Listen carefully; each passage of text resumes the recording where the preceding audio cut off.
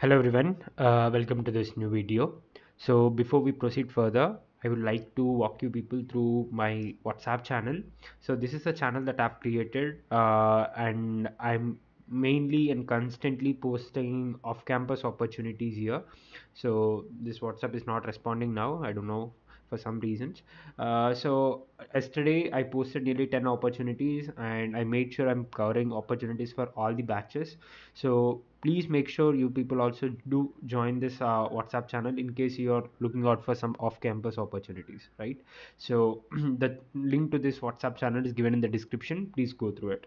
So I'll just exit this because it's not at all responding okay so let's go to this question now so this question today is a grinding geek and it's a medium level question so what is the question saying geeks for geeks has introduced a special offer we all know that uh, where you can enroll in any course and if you manage to complete 90% of the course within 90 days you will receive a refund of 90% Right? so in simple words let us assume if i'm investing 10 rupees today on a particular course and i'm buying it uh, and uh, if i do complete it within you know uh, Uh, just 90 days so i'll be getting a 90 percent refund. So how, how much is 90 percent refund? So 10 percent is actually equal to 1 rupee right? So 90 percent in the sense 9 rupees. So i'll be getting a refund of 9 rupees. That is what the question is saying. So geek was fascinated by this offer. The offer was valid for only n days okay? For only n days and each day a new course was available for purchase. Now geek decided that if he bought a course on same day some on some day he will complete the course on the same day itself wonderful. Is that really possible? No but this fellow is an embodiment of greediness okay? And redeem floor 90% of the cost of the course amount back. So this is his master plan. In reality it's not going to work but for this question purpose let us assume it's going to work okay? So you people don't do all these nonsense things. Uh, okay so keep uh, uh, like money is okay money is important but do not do such uh, notorious things right? So what's the question saying? Basically the same thing like if we you know buys a course on a particular day he'll uh, get uh, 90% uh, you know refund if he completes that. So that is basically nothing but floor of 90% of the cost of the course. So find the maximum number of courses that geek can complete in those n days if he add total amount initially okay? So he has some certain amount and that is known as total initially and now he looks out to like how many courses can he actually buy okay? So note on any day geek can only buy the new course that was made available for purchase that day okay? So today is monday right? So i can only buy a course that is available to purchase on monday or that is that was uh, released today. It's not like i can purchase the previous courses like that were released in the previous days like sunday's course saturday's course. No i cannot purchase them. Only the course that was released on a particular day is what i can buy okay? So these are some of the examples. We'll go through them. And the expected time o of n into total spaces uh, of n into total. This instead uh, itself says that yes uh, this is a problem of you know recursion and dynamic programming. In case if you're not able to come to that conclusion till now. Uh, so these are the constraints. I hope you people are you know at least got some glance about the question. Now let us go to the question okay? So we'll understand through the help of examples. So this is the total amount that he has uh, that geek has. 10 rupees or 10 something ton units you can uh, you know assume. And the total number of days are 2 and the cost is like this 10 and 9 what does that mean? The course on the first uh, mean the cost of the course on the first day is 10 the cost of the course on the second day is 9 like this is on another course this is on another course right? So the output is 2 why is that 2 geek can buy the first course for 10 amount complete it on the same date and redeem 9 back. Isn't it? Because 90% is what I've told. So what is 90% of 10 90% of 10 is actually 9 rupees. So that's what he's going to, going to get after day one. So because he has told that he'll be completing that uh, the course on the same day itself. So he'll be getting 9 rupees back. Next he can buy and complete the second course too. So with the available 9 rupees he can buy this course as well right? So finally he has come to the end of this offer sale. So till this offer goes on that fellow is on a mission and a vision and a determination to complete all the courses that are going to there in case that money that is available for him to you know uh, but uh, like for buying the courses there with him. Okay. So in, let us assume if this is not 10 this is some uh, 20 and he has only 10 can he buy this course? No he cannot because he do not have money to buy 20 right? So whatever the money he has with that if on that particular day can he buy like he can take or not? That's what he needs to come to a conclusion. And if he takes a particular course that that fellow is going to complete that course on that day. Okay. So and he's going to get a 90 percent refund. That is the whole scenario. I hope you people have understood. So uh, it's not at all confusing very pretty straightforward to be honest right? So how are we going to solve this? True recursion question isn't it? So pick or not pick. So this is an instance of pick or not pick very clearly evident isn't it? So if in case like because there are only two you know values here you might be feeling like what is the use of recursion here? But let's let us assume you have some values like x y z a b c. Fine. Many values like that and you have some amount of k now you need to determine like if you take this particular course that means you will be having a cost reduction of how much? So k minus x plus 90 by 100 of x. This is this will be your overall cost now after you buy this. Now with this cost you need to uh, decide uh, you need to see if you can buy maximum number of uh, courses from here or not. Okay. So if you not pick this then what will you be uh, will be your cost? Your cost will still remain k. I mean uh, your total your amount that is with you will still remain k. But if you consider this course that means your uh, amount will be changed to k minus x plus 90 by 100 into x right? I hope i'm making some sense here. So that is the reason. So if you're taking a particular course you must understand that yes there's a reduction of total amount that's happening to you. So with that remaining amount can you take another course or not? So your final output is final output is maximum right? Maximum number of books you want. Okay max number of books. You no sorry max number of courses. You know you need to study maximum number of courses. That is your main goal and uh, mission. So how are we going to do it? So if we just convert this into a recursion tree so this itself you uh, assume like for this example itself so you have total to be 10 okay total to be 10 and your index is 0 so you'll be starting with this right? So this will be the two conditions that you'll be starting with. So you have total 10 and your index is 0 so what are the two options that are available for you? Either on jumping into index 1 you take that in index 0 book okay? So either you'll be picking this index 0 book. So if you pick that index 0 book what would happen? So your cost will be 10 minus cost of 0 plus 90 by 100 into cost of 0 right and you will be jumping on index 1 or what is the other option? This is like take option okay? Take option. What if you're not taking the book on index 0 that means you'll be having the same cost and you'll be jumping on to index 1 right? So this is not take option. This is not take not take. This is done. Now again there are uh, options here as well. So what are the two options here?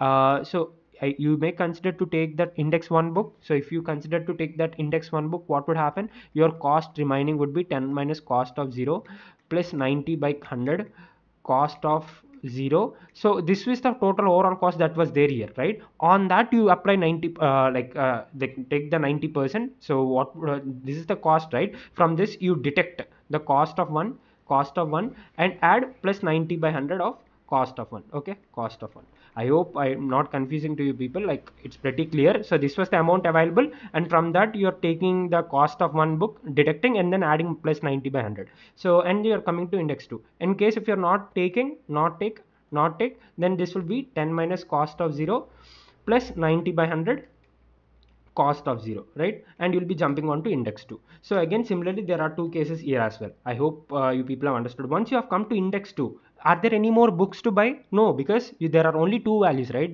Zeroth index and first index. Once you come to second index there are no more books to buy. So you'll be returning zero here okay? This will be the base case right? So once you come to a position where you have got the index uh, value to be the size of the cost array that means there are no more books to buy. So you'll be uh, returning zero.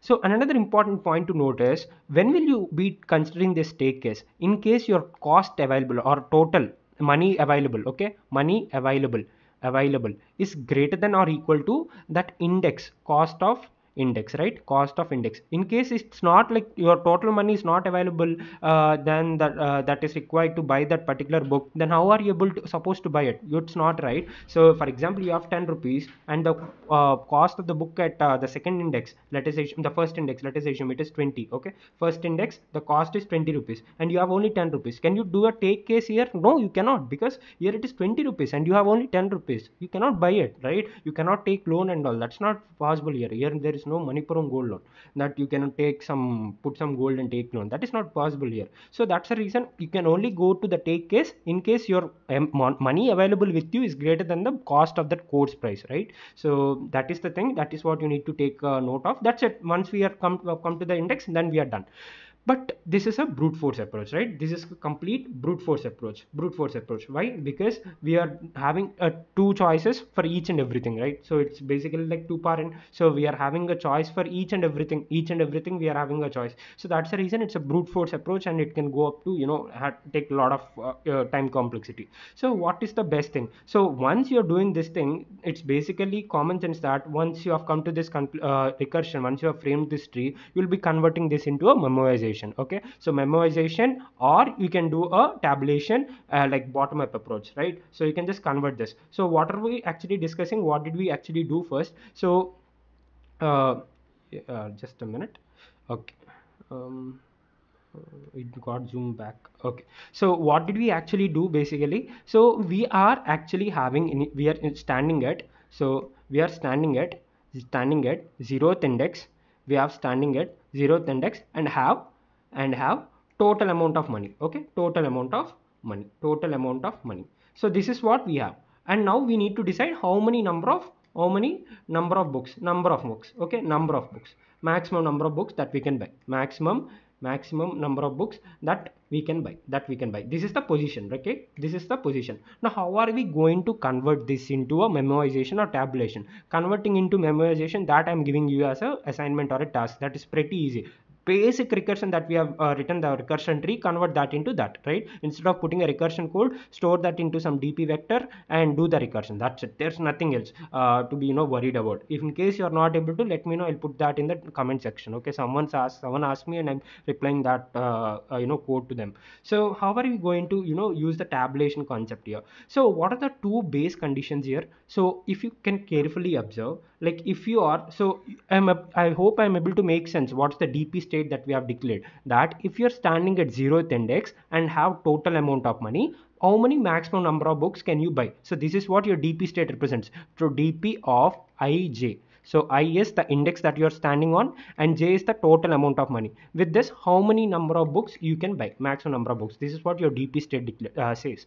Now what is that thing is? Dp of okay? Dp of n of j is actually equal to 0 right? Dp of n of j equal to 0 why am i saying that? Because when you're standing at n index okay n index in idx is equal to n that means you have come you have completed the cost array there are no more courses available. You have come to the end. So there are no more whatever amount you have even you have crores of money that you cannot buy any course because there are no courses available. So in that is the reason you will be putting zero. Because if you're standing like let us assume this is the cost array and now you're standing here nth index you have come. Only n minus 1 index would be there right? But you have come to nth index. This is where.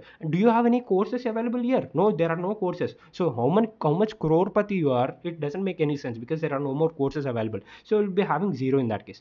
What is the second one? Dp of 0 of uh, j actually equal to 0 sorry sorry sorry. Not gp of z. Uh, dp of whatever i it is and uh, 0 equal to 0 so what does that mean? Let us now you're not a crore pati you're a beggar. Okay now you're a beggar. Like you do not have a single rupee with you. So you let us assume you're standing on this particular ith index okay? And you are like this. Okay you're standing at this particular position. Now you're looking out to buy some books. What but what is the money that you have? Zero. You do not have any money. Okay you have exhausted all your money. So in that case also you'll be having uh, the you know value to be zero. So i hope i'm making sense. So at the base case like these are the base cases okay? These are the base cases. So from this only we can you know uh, uh, calculate the other values. So dp of nj equal to 0 because once you come to the end of the cost array there are no, no more co uh, courses available for you to buy. So that is 0 and dp of i0 in the sense you have no more money left with you okay? So you're poor ultra poor. So whatever the index you're standing doesn't make sense? If you're that is the case dp of i of 0 equal to 0 so this is the thing that will you know replicate into a matrix okay?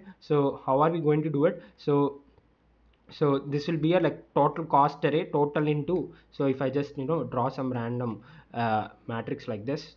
So this is basically n into total size okay? The n into total. So these are like n rows n rows these are like total money available to you total money available to you total money available. So what did i say? And this is the nth row okay? This is the nth row so what what is the values here that i've told you? Dp of n of j equal to 0 right? So whatever the column it is you'll be having 0 only because there are no more courses available here. And what did i say? At zeroth column right? Whatever money you have doesn't make any sense okay? Whatever the thing i mean sorry not money whatever the index i mean i i, I zero in the sense so whatever the row it is so it may be first row second row third row whatever it is so you'll be having only dp of i0 to be 0 only because because there is no money. What is this column indicating? This column indicating no money. Okay no money. You have no money with you. So what courses are you going to buy uh, even if you have uh, you know i number of rows i number of in the sense i number of courses available to you for you to buy but you do not have any money with you how many what will you buy even? Okay so i hope i'm making sense. That's the reason in the first column that is zero.